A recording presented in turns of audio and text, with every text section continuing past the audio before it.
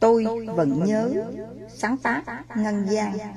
Calage Nhật Nguyễn